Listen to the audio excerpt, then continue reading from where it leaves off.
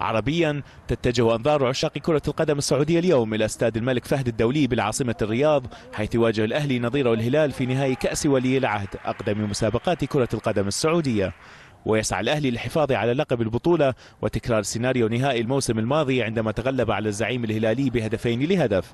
بينما يسعى الهلال للثأر من غريمه حيث فشل الزعيم في تحقيق الانتصار على الأهلي في آخر أربع مواجهات بين الفريقين. هذا ويعد نهائي اليوم السادس بين الفريقين على اللقب بعد أن تقابلا من قبل في نهائيات خمس نسخ فاز الهلال بثلاث منها بينما توج الأهلي باثنتين.